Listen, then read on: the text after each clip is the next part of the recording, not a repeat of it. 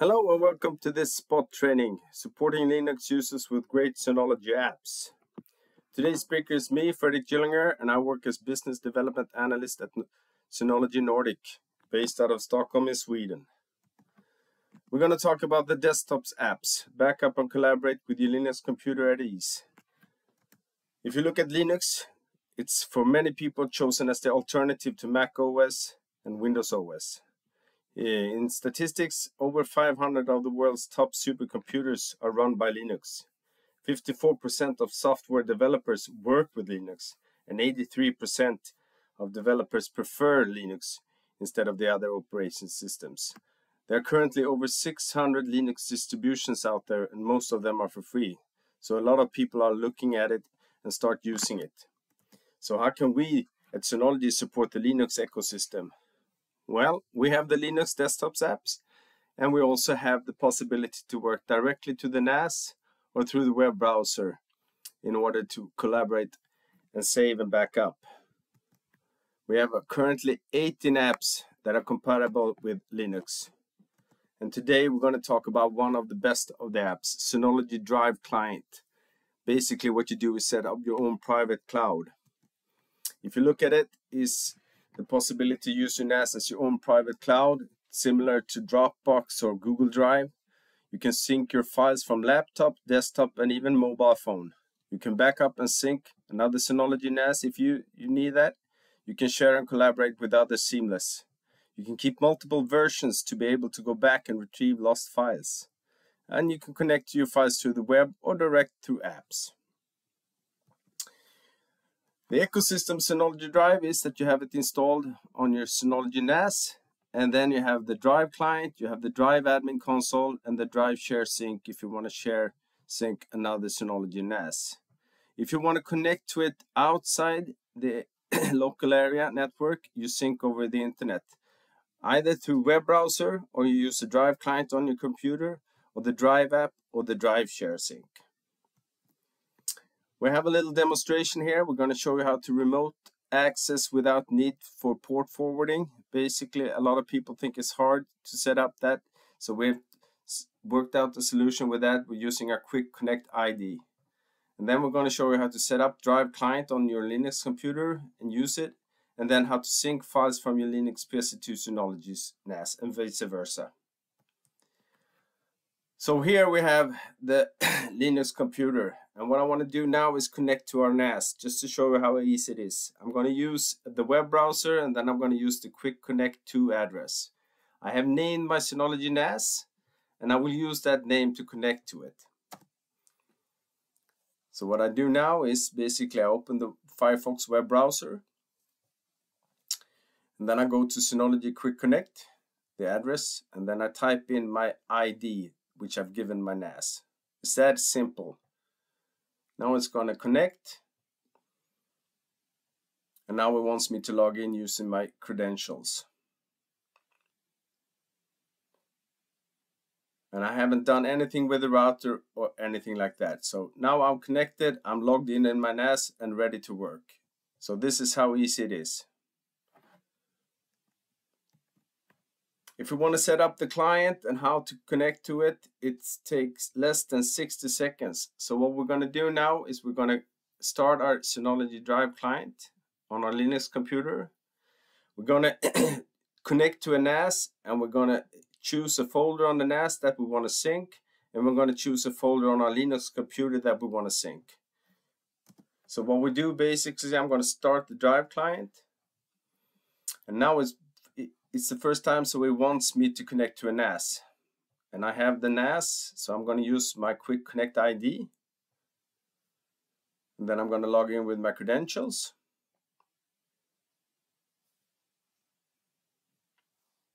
And this is the first time I'm setting it up so I'm going to choose sync task not security backup task because I want to sync when I work in real time and I click next and I'm choosing the folder on the NAS that I want to use and I've chosen a Linux document folder and then I'm going to go into my computer and I'm going to choose the document folder. I will not create an empty Synology drive map this time. So this is how easy it is. Now I've created two folders that I want them to have a sync two ways. and we're done. So if you look now, there's nothing that has happened because the folders are empty. As you can see, nothing whatsoever.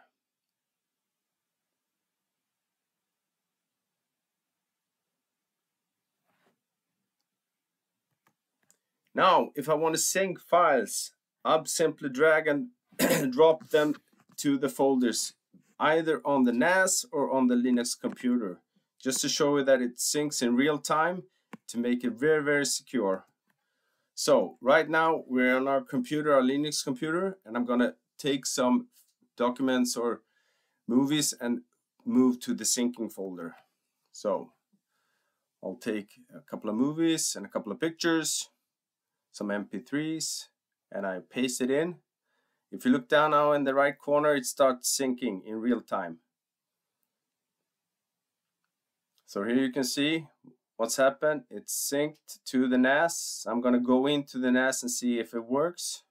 So I'm closing that one.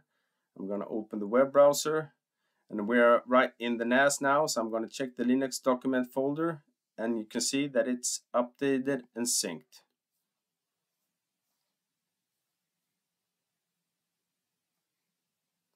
Very easy, very secure. Nobody else can see but you. So let's open up the folder and empty the document folder just to show you how quick it syncs. So I move this and it starts working again. So I open up and I'm going to update and there you see it's empty. So in real time you will sync your files and in real time it will reflect that to the NAS or vice versa.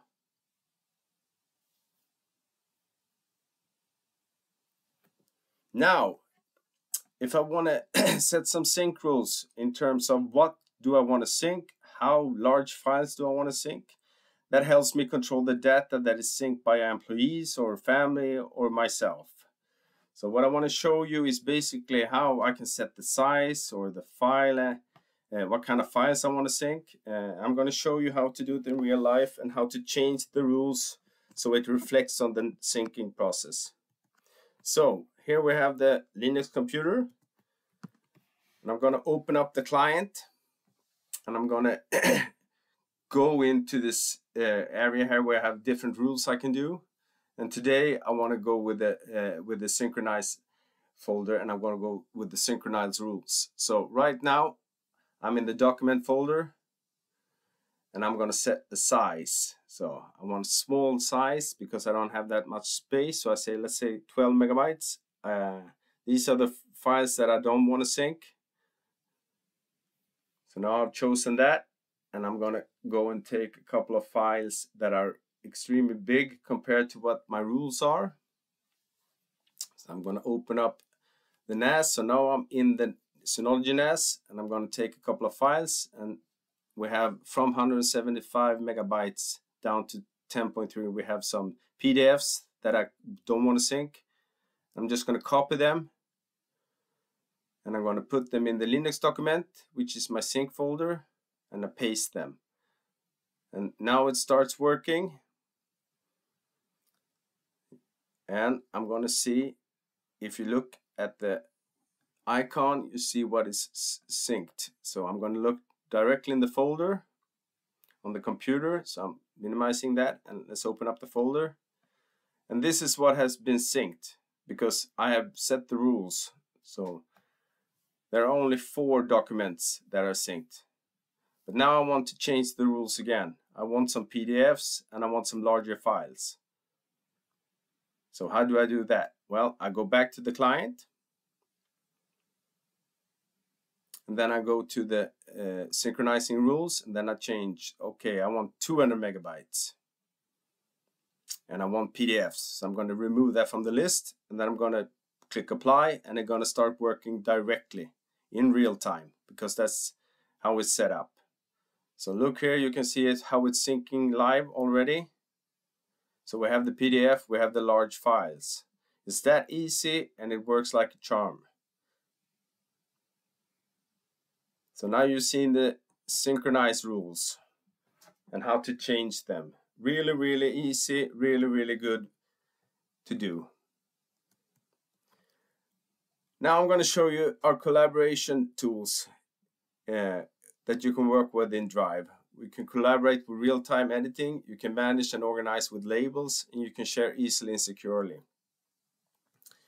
So we have a Linux computer here. Uh, I'm going to show you what app you need to install. So I'm going to connect with Quick Connect ID to our NAS. And as you can see how easy it is, I'm just going to use my login credentials. This time we have a Linux user. And if you want to work with Linux and our Office suite, you need to download the Office suite from the package center.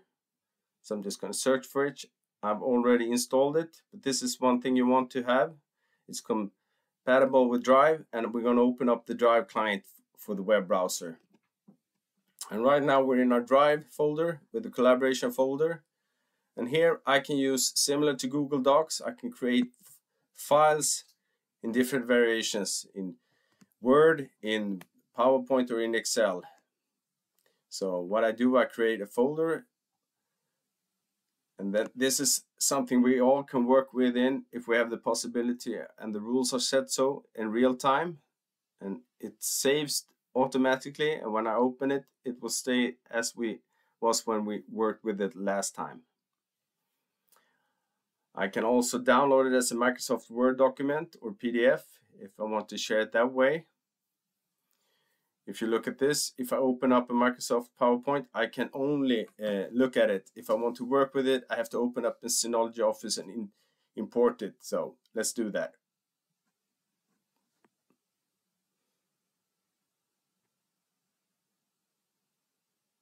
So we're importing it to the Synology Office and now I can start working with it. So here we have the PPT and I can change and do the changes that I need and I can save it and I can also download it as a PowerPoint or PDF when done. I can use version history, I can save as template, I can do a encrypted file and it's really really easy.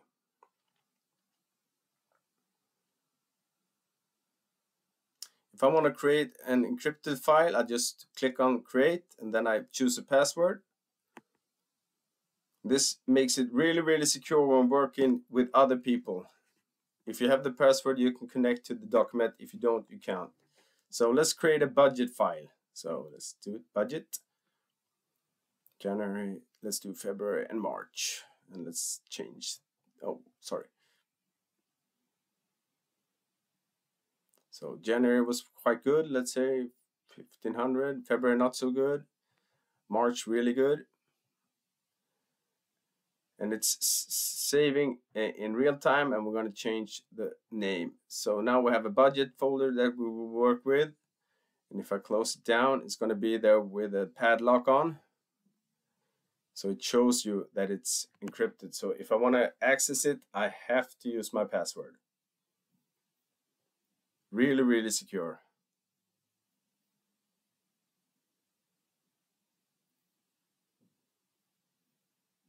I can also upload files. So if I want to upload different documents, there's no problem with that. So let's upload, upload a PDF. And I can watch it easily from my Drive folder.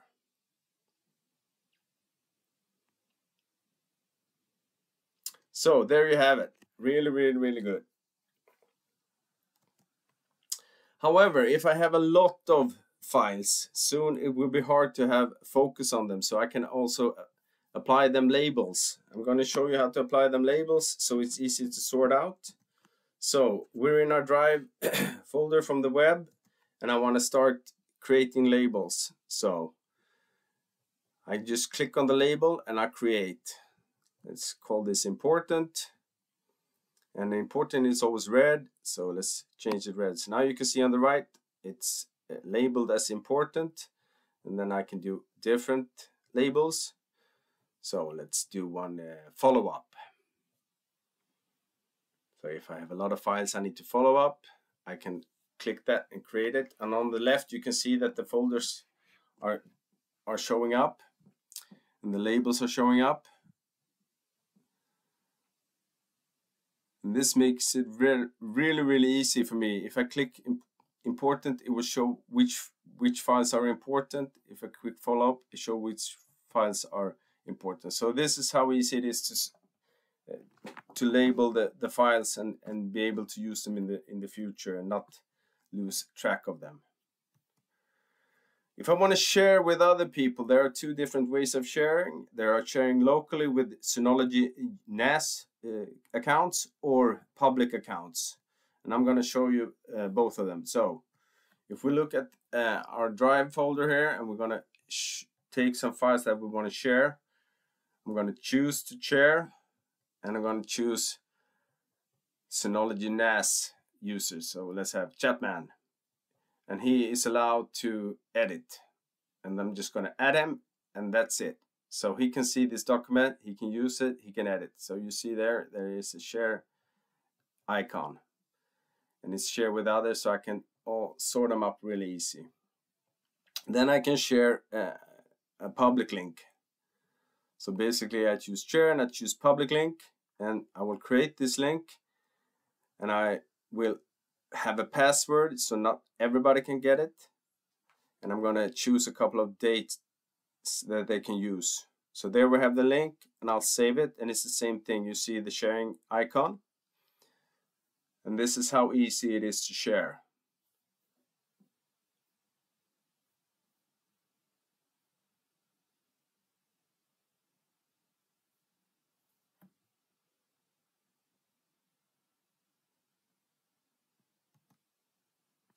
Now I want to show you how the link actually works when you share it public. So I'm in the folder.